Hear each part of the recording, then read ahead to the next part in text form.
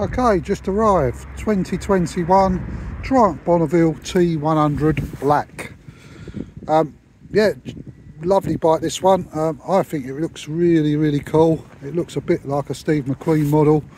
Um, great escape type thing. um, been lightly customised. It's got the tail tidy on. Little short baffled exhausts short indicators, little tiny indicators on there. It's got a headlamp guard on. So yeah, looks nice and mean. Um, it does come with all standard parts, indicators, silencers, etc.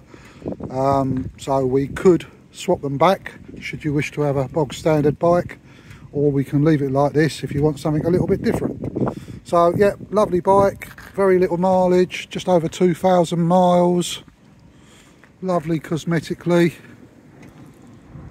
So it's not been very far so really nice condition all round.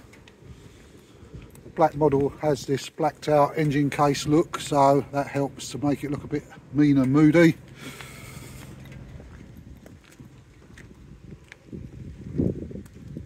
Full service history with it. We'll go through the workshop regardless of that just to make sure everything's okay ABS brakes are standard.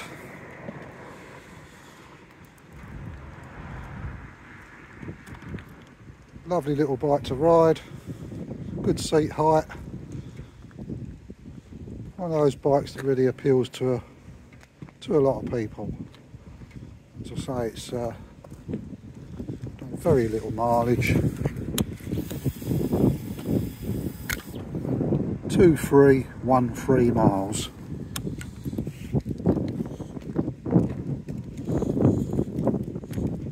In stock now in our showroom in Maidstone, Kent.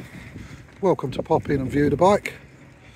Um, should you need delivery or finance or any other sort of uh, information on the bike, by all means give us a call um, and hopefully see you soon.